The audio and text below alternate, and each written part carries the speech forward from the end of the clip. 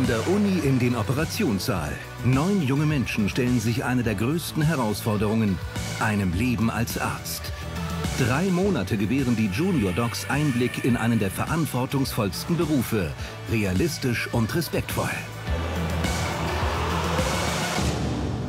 Man hat noch einen kleinen Resttumor entdeckt im Ultraschall, ähm, den man jetzt natürlich auch noch versucht zu entfernen. Solange der Kopf noch auf ist, ähm, kann man das natürlich noch gut machen.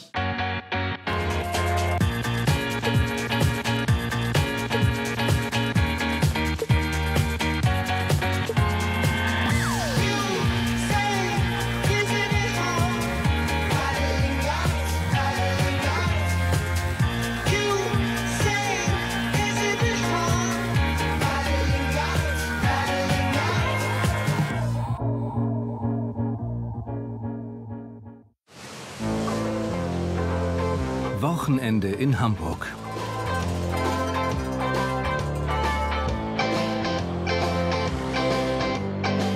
In wenigen Minuten beginnt der Frühdienst in der Klinik St. Georg. Auch für Junior Doc Friederike Schlingloff. Heute ist die 29-Jährige auf der herzchirurgischen Station eingeteilt. Die Verantwortung könnte größer kaum sein. Also ich bin jetzt die einzige Herzchirurgin hier im Haus. Also das heißt, ich bin für alle Patienten, die da sind, allein verantwortlich. Das sind mehrere Stationen. Und äh, wenn jetzt irgendwas passiert, bin ich auch erstmal die Einzige, die da ist. Das ist schon noch mal anders. 36 Betten muss Rika heute versorgen. Zeit für Pausen wird es da vermutlich nicht geben.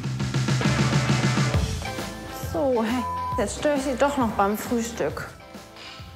Es ist vielleicht etwas weniger hektisch hier teilweise als im OP. Das ähm, ist aber auch ganz unterschiedlich. Hier kann man auch Notfälle haben. Also für mich ist das hier mehr Stress als im OP, weil ich das einfach nicht so gerne mag. Rike kennt nicht jede Krankengeschichte ihrer Patienten genau. Das setzt gerade junge Ärzte unter Druck. Als Anfänger geht man bestimmt nervöser in die Tage. Also so ganz allein vor Ort zu sein, da hat man am Anfang schon Respekt. Also man hat, ich habe einen Oberarzt, den ich anrufen kann, ich habe einen erfahrenen Rufdienst, den ich reinrufen kann. Aber bis die da sind, das dauert eine halbe, dreiviertel Stunde und so lange bin ich erstmal alleine da. Eine Schwester meldet Rike, dass ein Patient einen alarmierend niedrigen Hämoglobinwert hat, also zu wenig rote Blutkörperchen. Das bedeutet Blutverlust. Ramona? Wo ist denn? Ramona?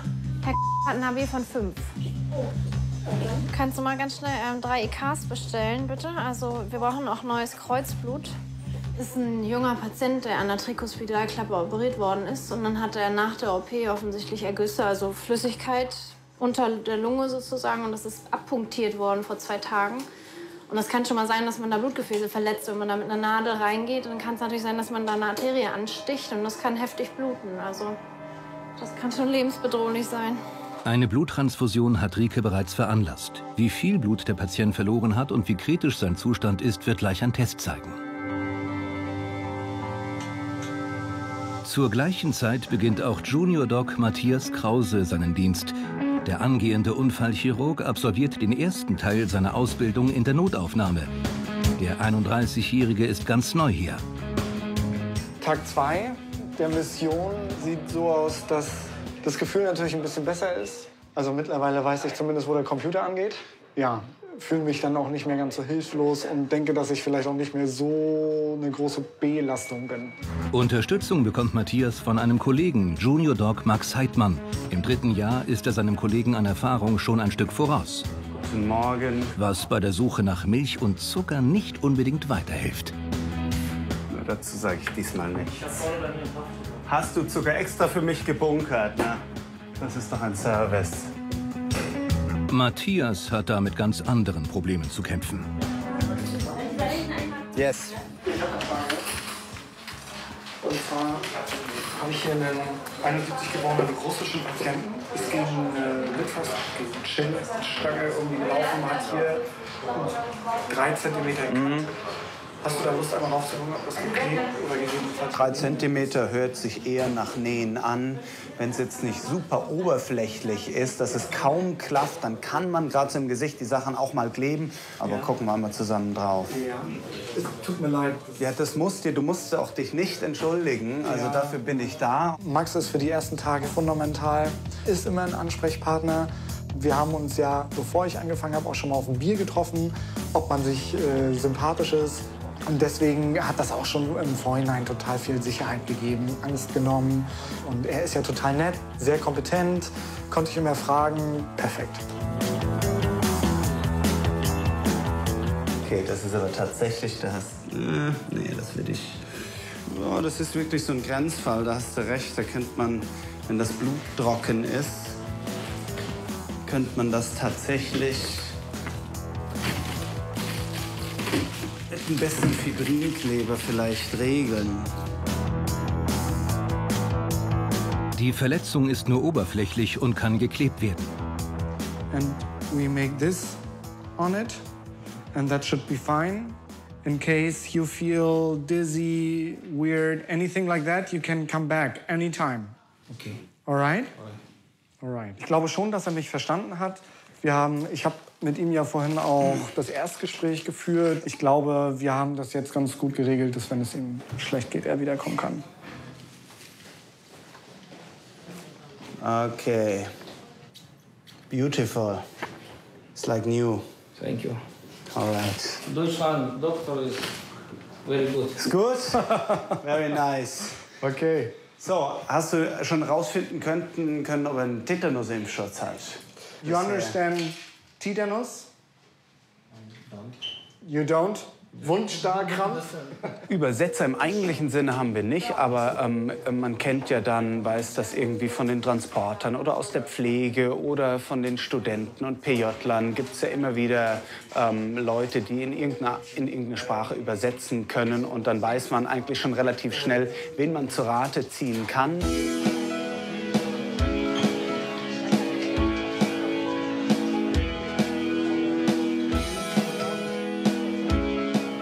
Russisch hier?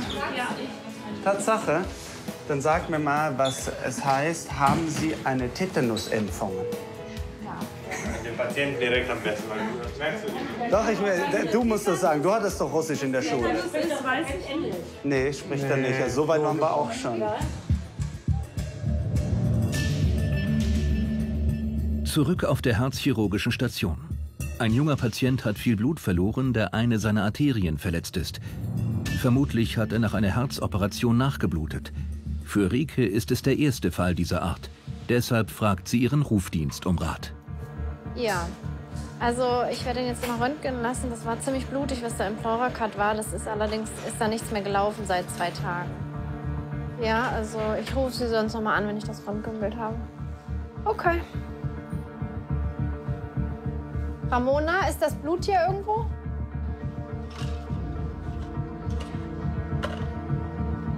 Der Patient könnte theoretisch jetzt weiter bluten. Das wär, könnte schon gefährlich sein. Und der Wert ist von heute Morgen. Wenn er jetzt weiter geblutet hätte, also könnte schon ernst sein. So, ich nehme jetzt noch mal Blut ab. Sie haben schon mitgekriegt, Sie werden wieder verlegt auf die Überwachungsstation unten, weil Ihr Blut, ähm, Ihre roten Blutkörperchen extrem niedrig sind im Moment. Da müssen wir mal nachgucken. Das kann eventuell sein, dass das da in die Brust geblutet hat.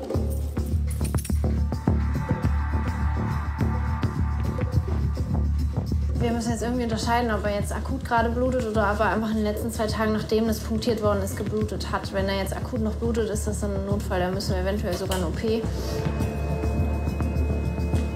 Man ist angespannt, man will unbedingt das Richtige machen. ne? Man will jetzt die richtigen Tests machen und die richtigen Untersuchungen, um möglichst schnell rauszukriegen, was der Patient hat.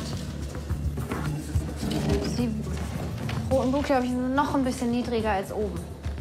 Ja, wir warten jetzt aufs Röntgenbild. Das ist jetzt für uns das Entscheidende im Moment. Ne? Wenn das Röntgenbild okay ist, wenn er da keine großen Blutungen hat, dann kann das so bleiben. Wenn jetzt der ganze Thorax voller Blut ist, dann müssen wir uns was überlegen.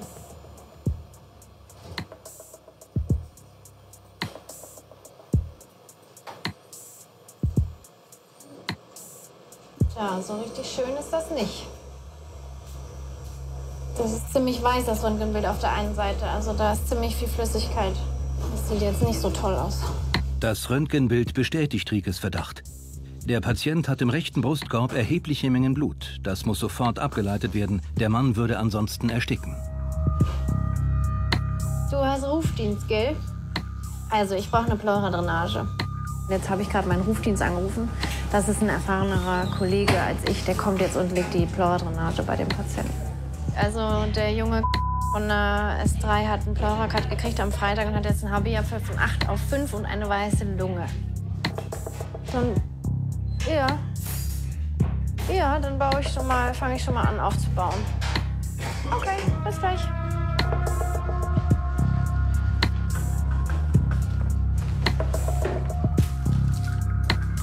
Also, Jacke ausziehen. Irgendwie muss es gehen. Im Moment versuche ich einfach den Patienten stabil zu halten, bis wir ihm helfen können. Er kriegt ja jetzt eine Pleuradrainage, wo wir das ganze Blut ablassen können, was sich da angesammelt hat. Und so lange muss ich ihn stabil halten. Das heißt, er blutet im Moment, er verliert Blut. Und ich muss den Kreislauf jetzt stabil halten, gucken, dass wir das Blut ersetzen können und ihm auch so ein bisschen die Angst nehmen. Er hat natürlich auch Angst, was jetzt los ist gerade. 15 Minuten später ist der Arzt im Rufdienst da und die Operation beginnt. Die aus dem Röntgen haben Mit einem Schlauch soll nun das Blut aus der rechten Brusthälfte abgesaugt werden. Mit dieser relativ simplen Maßnahme wird das Leben des Patienten gerettet. Wenn wir Rufdienst haben, dazu gerufen werden, sind sicher immer Notfalloperationen. Natürlich geht man natürlich mit so einem mulmiges Gefühl daran. Man möchte dem Patienten gut helfen. Und in dem Fall war es natürlich ein sehr kurzer Einsatz, sehr glücklicherweise, dass die Drainage sehr gut gelegen hat.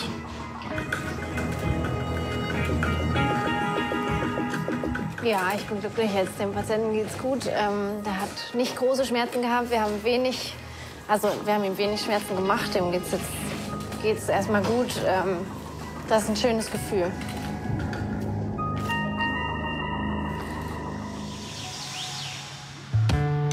Auf der Notaufnahme bemüht sich Matthias weiter um die deutsch-russische Verständigung. Ob der Online-Übersetzer zeigt, was auf Russisch Tetanusimpfung heißt? Russisch. Aber hier habe ich kein Netz. Tetanus. Stolbjak. Stol Stolbniak. Stolbniak. Mit der richtigen Vokabel und einer russisch sprechenden Kollegin dürfte das Problem gelöst sein. Okay, we, I think we tried it.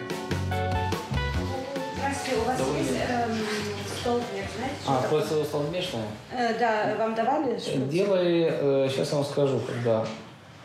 Ну, давненько было, лет, наверное, пять назад точно. Но не So меньше. circa fünf Jahre, ja. Circa fünf. Okay. Eine Tetanusimpfung hält zehn Jahre. Der Patient darf also nach Hause gehen. Doch er geht nicht einfach so. So, Max, hast du von deiner äh, Errungenschaft jetzt schon erzählt? Von unserem, von Ja, nee, unserem Ich Erfolg? habe noch nichts erzählt. Nee, das überlasse ich dir. Das war ja, war ja dein Patient. Dankbare Patienten. Ne? Ähm, hier noch versiegelter, zollfreier russischer Wodka. Dann machen wir uns mal einen netten Abend. Ja, Netter Abend mit einem Wässerchen. ja, Stellen wir weg, ne? ja, ja genau. Stell weg. Leider dürfen Ärzte keine Geschenke annehmen. Für einen netten Abend müssen Max und Matthias wohl ihren eigenen Wodka organisieren. Alles klar? Im Prinzip ist es ganz schön. Ich glaube, das war ja eine seiner ersten äh, Schnittplatzwunden, die er alleine versorgt hat. Und dann einen zufriedenen Patienten zu haben, gibt dann, glaube ich, ein gutes Gefühl und auch ein Stück Selbstsicherheit.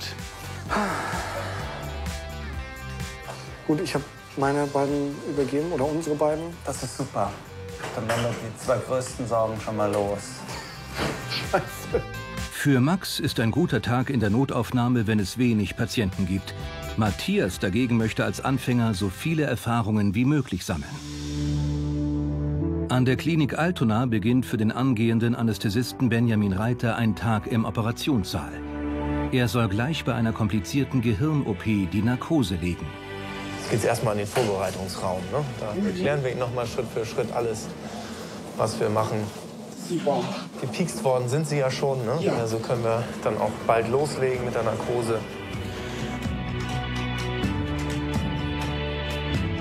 Dann mal 160 Milligramm Propofol, bitte. Dann schlafen Sie gut, wir passen gut auf Sie auf.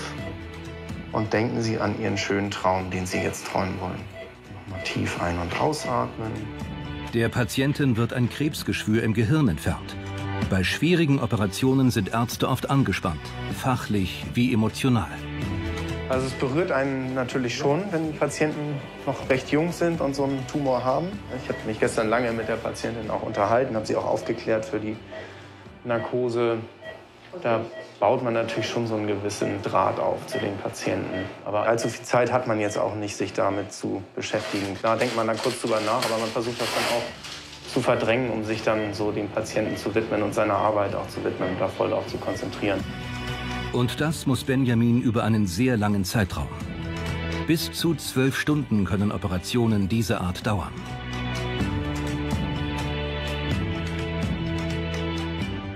Eine Kopfoperation ist schon hochkomplex, ähm, aber die Abläufe, die sind klar geregelt. Allerdings äh, muss man doch immer bei den Kopfoperationen sehr auf der Hut sein, weil es kann doch jederzeit mal anfangen zu bluten. Es sind zwar nur kleine Gefäße im Kopf, aber auch die können doch über recht kurze Zeit viel Blut verlieren. Benjamin prüft vor Beginn der OP noch einmal die Größe der angeschlossenen Kanülen. Da haben wir 16G und auf der anderen Seite eine 18G. Okay, wunderbar. Auf beiden Händen grau, okay. Und da unten auch eine graue, eine grüne. Super. Das ist also äh, hier schon, da ist man schon sehr angespannt, sag ich mal, wenn man hier reinfährt. Also dann legt sich das irgendwann. Jetzt so langsam ist ja alles ähm, organisiert und alles so, wie es sein soll. Aber ähm, so das Reinfahren und das Aufbauen und das Ganze anschließen, das sind schon sehr, ähm, ich sag mal, hektische Momente.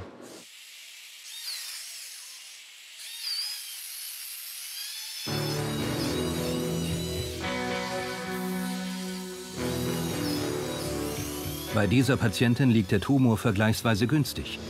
Dennoch besteht ein hohes Risiko, dass es zu Komplikationen kommen könnte. Ein Haus wie Altona, so ein Maximalversorger, da kriegt man natürlich auch ja, sehr viel mit, was alles so passiert und was für Krankheiten es gibt und wie häufig das auch so vorkommt. Ähm, das kriegt man als Normalbürger ja gar nicht so mit. Also wie häufig Leute einfach plötzlich tot umfallen oder wie häufig jemand plötzlich eine Hirnblutung kriegt oder einen Schlaganfall. Da wird man einfach ständig mit konfrontiert und, merkt dann auch, ähm, dass das gar nicht so selten ist und dass es jeden treffen kann und die, das Leben von heute auf morgen einer Familie komplett verändern kann. An seinem zweiten Tag in der Notaufnahme wird Matthias immer selbstständiger. Bei seiner nächsten Patientin wagt er sich alleine ins Behandlungszimmer. Die junge Dame wurde mit starken Rückenschmerzen eingeliefert. Guten Tag. Krause, mein Name. Was ist passiert? Haben Sie sich vertreten oder sind Sie auf der Treppe ausgerutscht? Äh, Auf der Treppe ausgerutscht. Ja. Haben Sie sonst irgendwelche Beschwerden am Oberkörper, Beinen, Kopf? Als Anfänger in so einer Situation, da war ich total aufgeregt. Ähm, gar nicht so die Angst vor dem Patienten an sich, sondern ähm, könnte der was haben, was ich gerade vielleicht nicht im Lehrbuch schon vorher nachgelesen habe. Ich drück mal nur. Tut das hier weh? Da tut es weh? Und hier auch? Hier? Das ist alles Ordnung. Da tut es weh. Prozedere wird jetzt, wie gesagt, sein Röntgenbild und anschließend ähm, schauen wir mal, was dabei rausgekommen ist. Und dann sprechen wir gleich nochmal miteinander. Das finde ich schön. Ich wollte das nach dem Kollegen schauen. Wir sind fertig. Es geht mir gut. Glaube ich. Bevor Matthias die Behandlung fortsetzen darf, muss er Rücksprache mit einem Kollegen halten. 85 geborene Patientin, hinten auf Steiß gefallen, ist in der, hat dort auch einen reproduzierbaren Druckschmerz, ist jetzt nicht gerötet, nicht geschwollen oder auch nicht blau, nichts. Der restliche körperliche Untersuchungsbefund ist gänzlich unauffällig. Hast du einmal rektal untersucht? Nee, habe ich nicht. Das muss man eigentlich machen. Wenn die aufs Steißbein fallen, dann hast du ja das Oskophageum, was unten rumgeht. Und das ist dann quasi das, was auch brechen kann. Ne? Was würde ich denn erwarten, wenn da was kaputt gegangen ist? Na, wenn du jetzt direkt die Spitze des Oskophageum äh, gebrochen hast, dann tut das weh. Dann tut das richtig weh und dann kannst du das auch quasi mobilisieren. Ja. Okay. Ich weiß, es ist unangenehm, aber es gehört Ja. immer mit dazu. Das ist ja jetzt, wie alt ist die Patientin? 28, junge Patientin.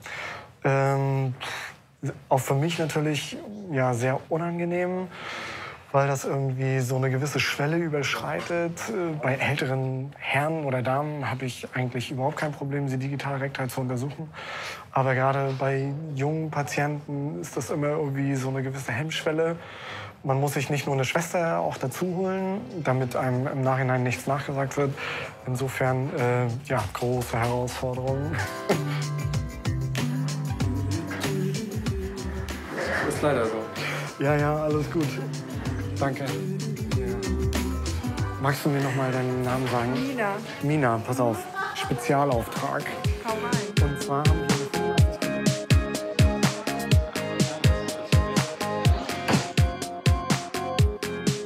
Ich habe noch mal mit dem Kollegen Linnert gesprochen. Das war der Kollege, der hier gerade dazugekommen ist. Gerade weil Sie ja auch auf den Steiß gefallen sind. Ähm, gerade bei solchen Verletzungen kann es den Darm verletzen.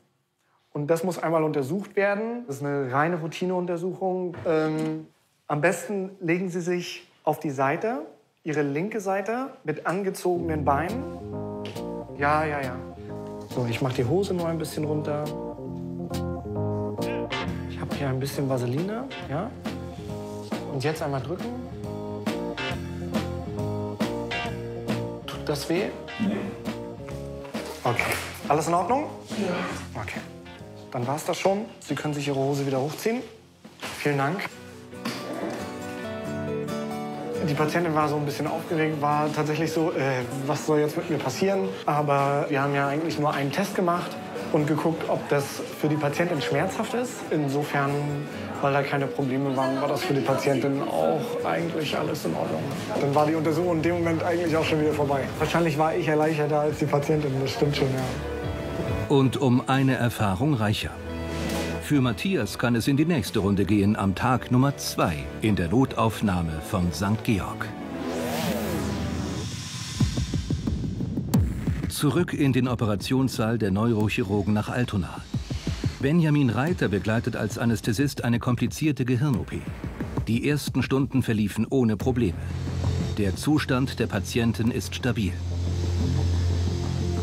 Wenn alles gut geht in der Nacht auf der Überwachungsstation, dann können die Patienten dann äh, verlegt werden auf die Normalstation am nächsten Tag. Wir nennen das immer so ein bisschen untereinander, so unter den jungen Ärzten Bed and Breakfast. Ne? Also die Patienten sind eigentlich wach, denen geht's gut. Die brauchen von unserer Seite auch jetzt nicht viel Intensivtherapie. Ähm, ich bin jetzt erst in zwei Tagen wieder auf der Intensivstation im Schichtsystem. Und wenn die Patientin dann noch da wäre, dann ist irgendwas schiefgegangen. Äh, deswegen hoffe ich, dass sie nicht mehr da ist dann.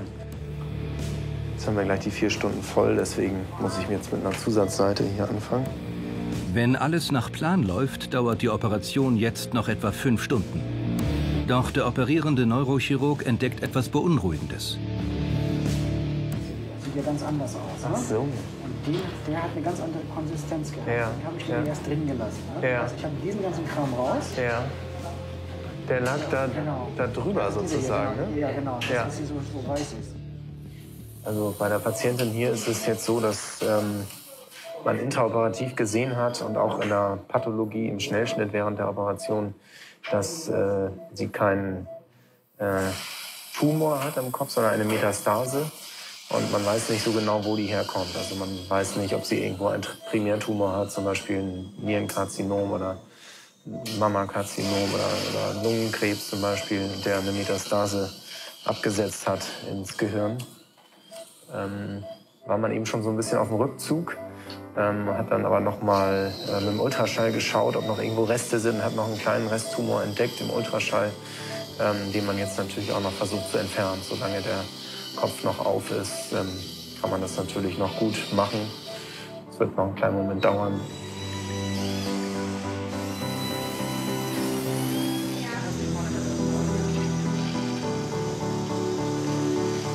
Das ist alles in Ordnung. Valium ist schon hochgegangen. Wunderbar. Und hier wird jetzt zugemacht. Und nochmal ein- und ausatmen. Ganz toll machen Sie das. Anästhesisten sind natürlich immer glücklich, wenn so eine Narkose gut gegangen ist, wenn der Patient stabil gewesen ist, wenn sich freut, dass die OP schon vorbei ist. Ich stelle mir das so vor, als wenn irgendwie ein Flugkapitän seine Maschine wieder nach einem langen Langstreckenflug äh, am Zielort ganz sanft aufgesetzt hat und alle Passagiere glücklich sind. Also so geht es mir dann auch so ein bisschen. Ähm, natürlich äh, sind wir jetzt ein bisschen betrübt durch dieses interoperative Ergebnis, dass da also eine Metastase herausgekommen ist. Das heißt, die Patientin hat noch einen langen Weg vor sich oder der Weg fängt jetzt eigentlich richtig an. So, das muss ihr noch übermittelt werden. Ähm, das ist natürlich alles schwierig. Alles okay, Frau Sch OP ist schon vorbei. Sie haben alles gut überstanden, Sie sind schon auf der Überwachungsstation. Eine rauchen gehen? Nee, da würde ich noch einen Moment warten. Benjamin hat die Narkose richtig dosiert. Die Dame wacht ohne Probleme auf. Ein Erfolgsgefühl bleibt aber aus. Im Moment gibt es noch viele Situationen, die mich, die ich, die nah an mich rankommen, die mich belasten. Aber man fängt auch dann an, glaube ich, so ein Schutzschild aufzubauen. Und ähm, man lernt ja auch, es gehört ja auch zu diesem Prozess zu lernen, damit umzugehen. Ja, so auch die, die Angehörigen da durchzuführen, auch die Patienten zu begleiten. Und man darf trotzdem nie vergessen, ähm, dass wir also da keine Maschine irgendwie im Bett liegen haben mit tausend Drähten und Schläuchen, sondern dass das alles Menschen sind. Jeder individuell ein Mensch, ein Lebewesen. Und auch bei schwerstkranken Patienten darf man das nie vergessen.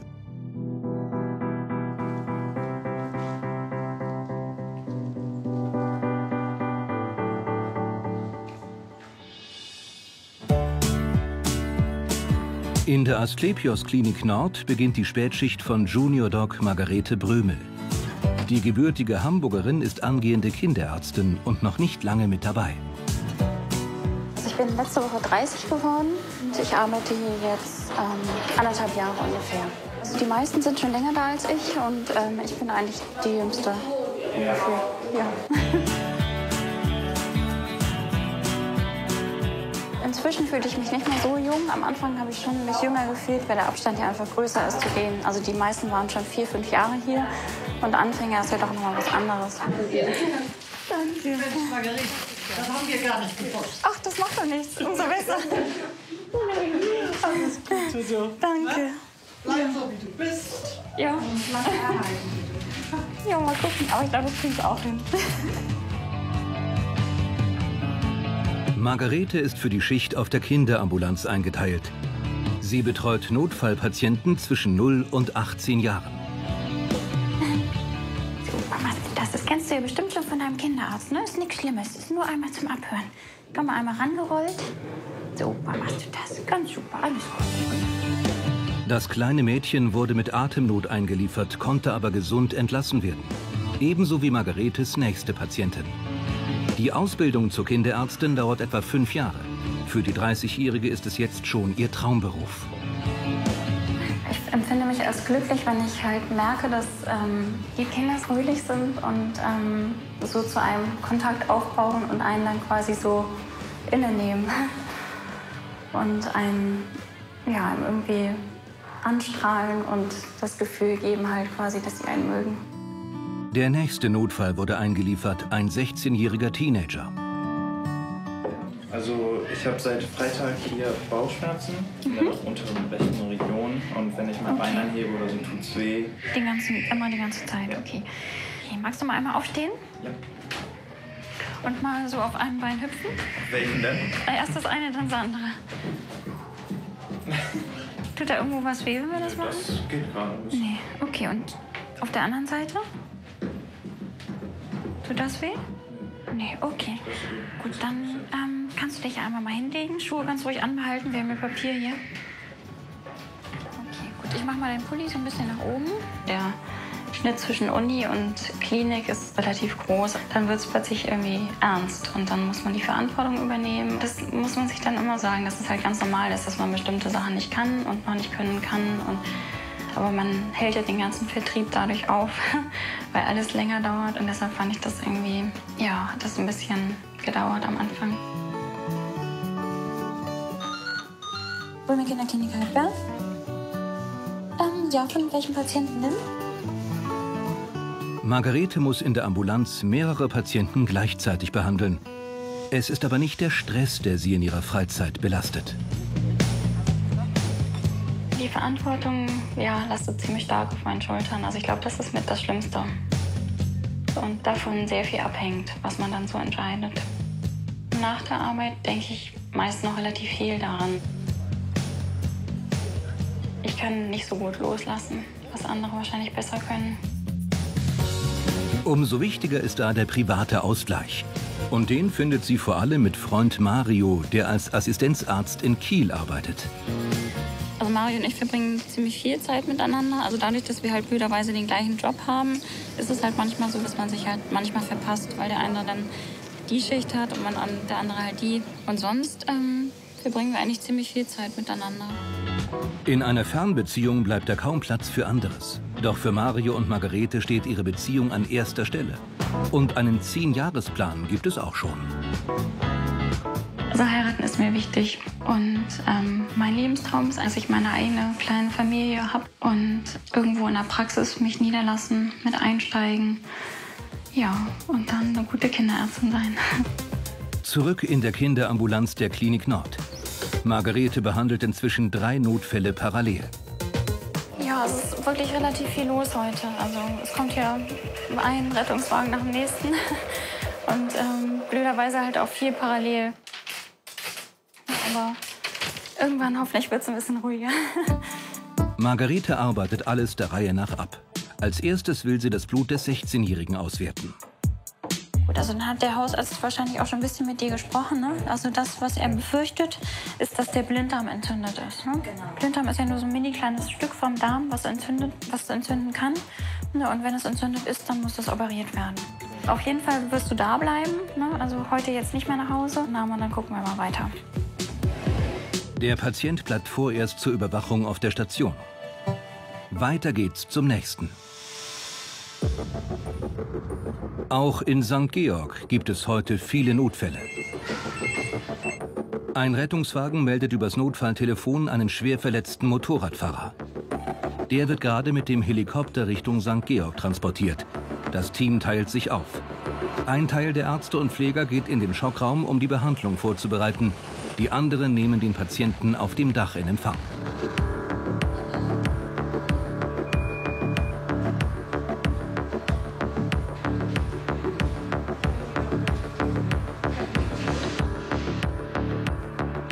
Alle machen Wartestellung. Warten auf das Ungewisse. Die Ärzte kennen noch keine Details. Sie wissen nur, dass der Patient sehr schwer verletzt ist. Herr W. 47 Jahre alt, Motorradfahrer.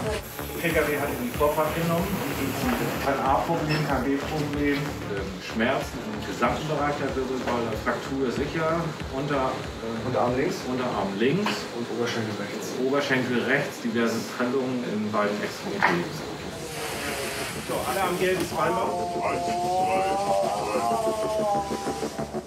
Ja, die Anspannung merke ich natürlich auch total, ähm, wo man also merkt, jetzt geht's gleich los. Auf der einen Seite ist es natürlich, oh Gott, man muss sich jetzt irgendwie auf den Punkt konzentrieren. Was kann man machen? Wo kann man irgendwie mit anpacken? Dann hat er den linken Arm, Unterarm, sichtbare Fehlstellung, Instabilität, Schienenlagerung, DMS intakt. Okay, wir können wieder zurückdrehen.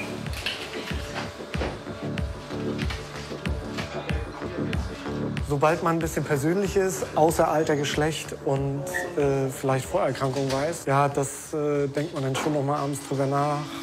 Ja, das war schon so. Besser mit den Schmerzen. Der Zustand des Patienten ist kritisch. Warum sollen weitere Untersuchungen zeigen? Wir drehen jetzt Und dann fahren wir rüber ins Zentrum. Die Computertomographie soll klären, ob es innere Verletzungen gibt. Gucken wir gleich, ob da Prellmagenverletzung sein. Da kannst du Patient ähm, wachorientiert ansprechbar. Gut, dann gucken wir mal, was da rauskommt. Okay. Der Patient wird weiter untersucht. Für Max und Matthias ist die Arbeit an dieser Stelle zu Ende. Max, und wie sieht's aus? Jetzt äh, können wir noch irgendwie behilflich sein? Jetzt Also ich habe nur gedacht, wenn das jetzt wirklich irgendwie mehr Arbeit gewesen wäre oder so, man hätte helfen können. Deswegen ist es, denke ich mal, fair, noch mal mit reinzugucken. Und erst recht, also ich sag mal, zweiter Arbeitstag und es kommt mit dem Hubschrauber ein polytraumatisierter Motorradfahrer und du sagst dann als Neuling, oh, das interessiert mich jetzt alles nicht mehr, ähm, ich gehe nach Hause. Ist hier auch schon passiert und das ist zum Beispiel dann irgendwie so mal erwähnt worden. Deswegen fand ich es gut, dass du einfach auch gesagt hast, ich gehe jetzt einfach da noch rein. Gut, okay. komm, wir machen das hier. Der Motorradfahrer hat keine inneren Verletzungen, allerdings etliche Brüche, die nun operiert werden müssen. Für Matthias geht es jetzt in den Feierabend. Seine ersten beiden Tage auf der Notaufnahme hat er gut gemeistert.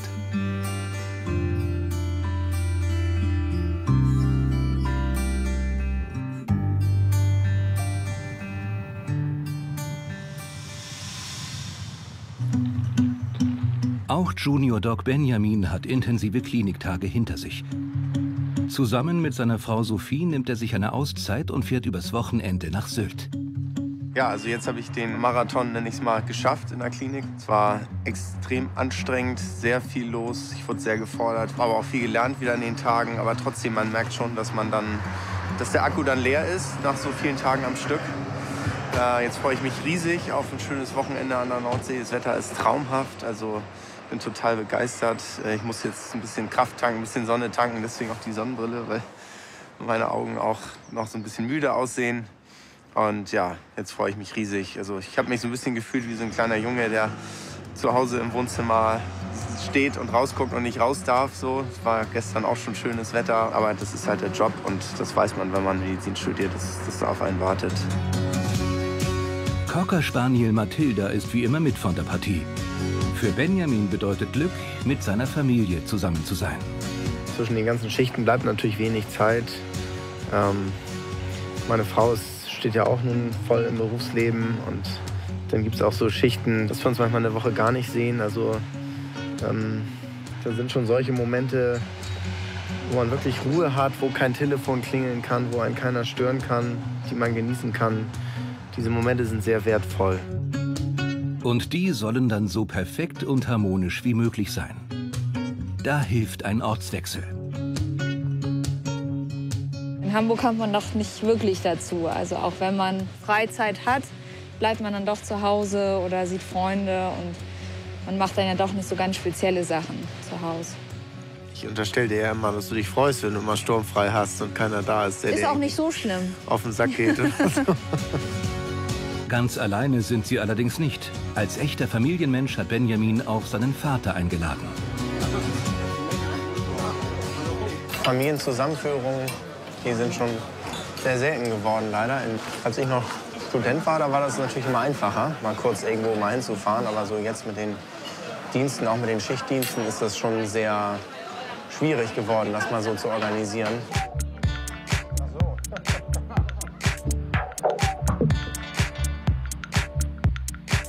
Das Ehepaar ist seit drei Jahren verheiratet. Kennengelernt haben sie sich auch im Urlaub, allerdings nicht am Strand, sondern in den Bergen. An beiden Orten funktioniert das Abschalten wunderbar. Huch. Nein, nein, nein, nein, nein, du bleibst da.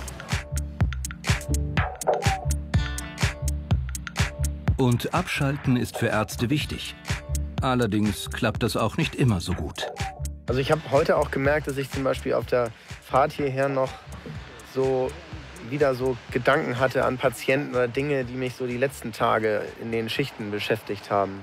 Da kann es schon mal sein, dass man mal nachts aufwacht, dass einem was einfällt oder man abends, abends mit einem Gedanken einschläft an, an eine Therapie, die man vielleicht irgendwie hätte anders machen können oder wollen oder so. Das befasst einen schon. Und heute auf der Fahrt hierher war ich auch wieder so ein bisschen am überlegen, Mensch, wie geht's denn los hier dem und dem Patienten oder wenn ich nächstes Mal wiederkomme, der junge Mann dann entlassen, der den schweren Unfall hatte oder ist der ältere Herr dann vielleicht verstorben, der halt so super schwer krank war, als ich gestern in Feierabend gegangen bin. Also das braucht schon so ein paar Tage, ähm, damit man das so richtig loslassen kann. Das geht nicht so, das kann ich noch nicht so abknipsen. Aber bei dieser Kulisse kann Benjamin vielleicht zumindest damit beginnen.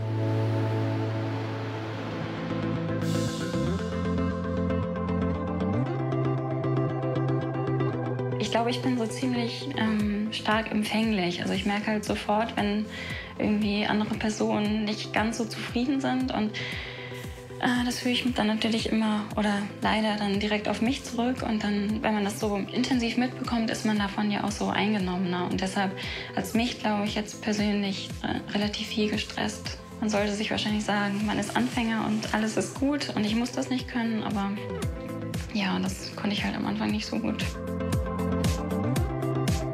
An meinen ersten Arbeitstag erinnere ich mich eigentlich ganz gut. Ich glaube, sowas ist schon einprägsam. Und ich weiß auch noch gut, dass mein damaliger Chef zu mir einfach sagte, Herr Heidmann, gehen Sie, besorgen Sie sich ein paar Klamotten und gehen Sie in die Notaufnahme. Und dann war irgendwann der Moment gekommen, wo ich in diesen Kittel geschlüpft bin.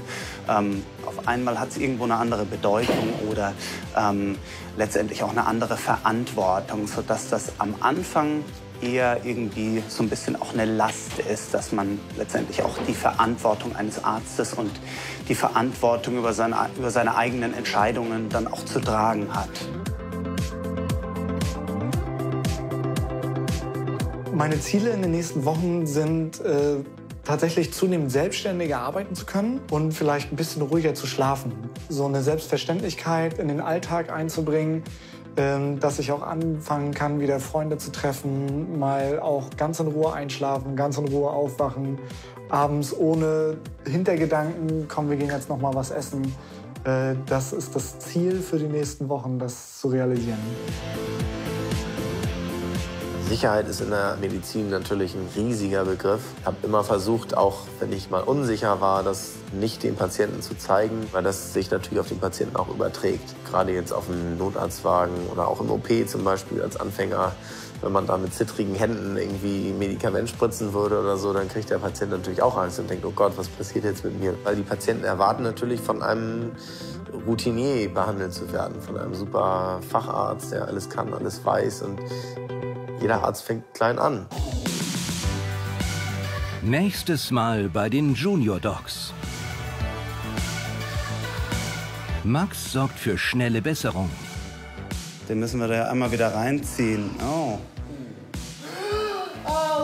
Okay, okay. Sascha im Terminstress. Zum wiederholten Male zu spät, die Kinder abzuholen. Rike im Kampf mit der Säge. Also die Säge sitzt dann schief, ne? weil es so getunnelt ist. Und Franziska bringt neues Leben zur Welt. Da ist der Junge. Kleiner Jeremy. Oh,